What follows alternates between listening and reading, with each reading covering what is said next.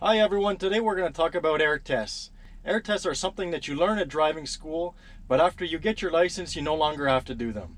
No, it's not true. It's still good practice, and today we're going to do it together. So let's go. For the first test, we turn the key to the on position and we lower the air pressure. The visual and sound alarms must actuate above 55 pounds. If one of the two alarms does not activate above 55 pounds, it's a minor defect. If both alarms do not activate above 55 pounds, it's a major defect. For the second test, we start the engine, we release the parking brakes, and we let the air build. At 90 pounds, we apply the brakes and we verify that the compressor can maintain at least 90 pounds. If not, it's a major defect.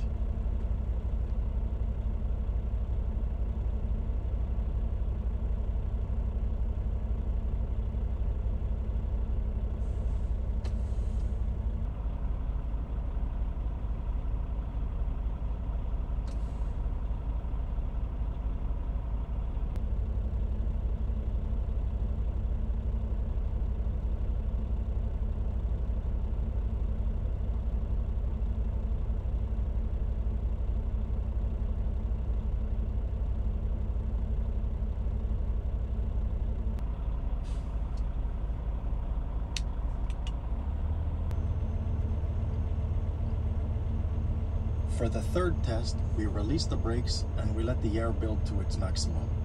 The compressor must stop between 117 and 137 pounds. If not, it's a minor defect.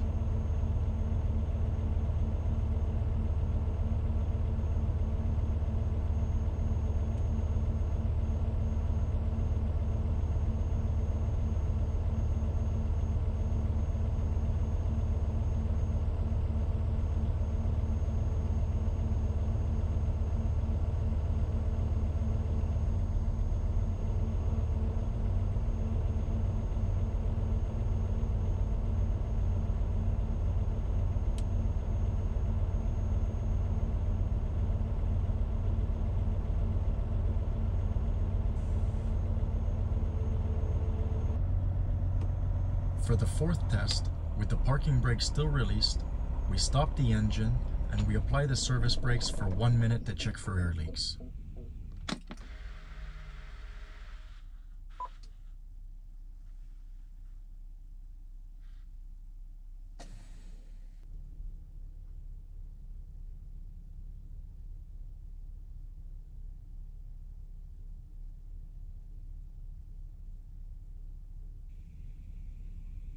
If our pressure loss is more than 6 pounds for a truck or 7 pounds for a truck and trailer, it's a major defect.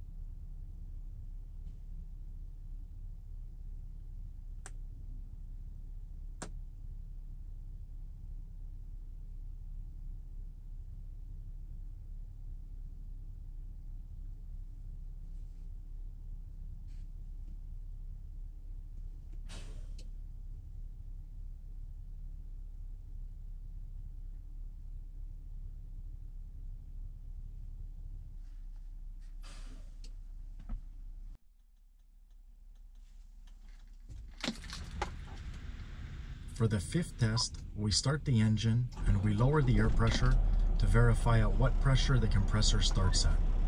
The compressor must start above 80 pounds, if not, it's a minor defect.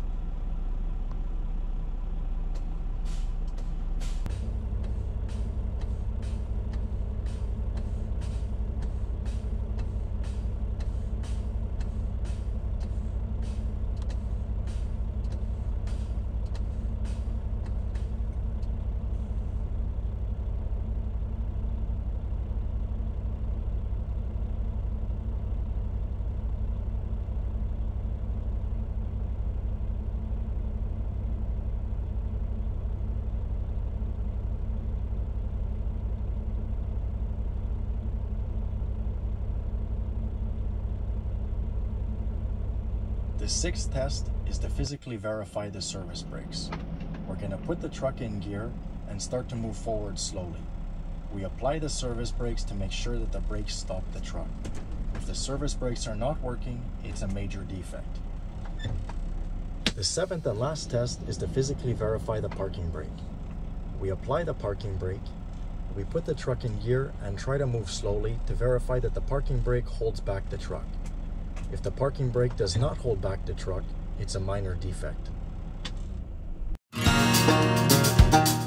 Thank you for listening and have a good trip. And don't forget to like, share, and subscribe.